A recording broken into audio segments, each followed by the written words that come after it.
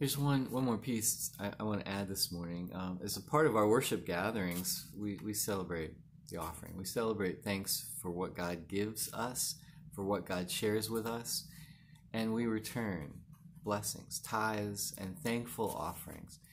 Uh, part of our not being together means we aren't able to share those in a public way.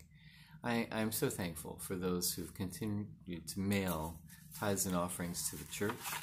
Um, those finances are, are important, are critical for us in paying bills. We still have utilities at the at the building, and and of course our salaries and some other obviously other expenses.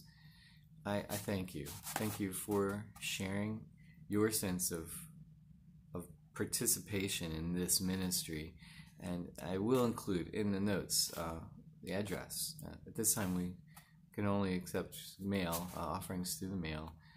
Um, but please, thank you and consider supporting the ministry.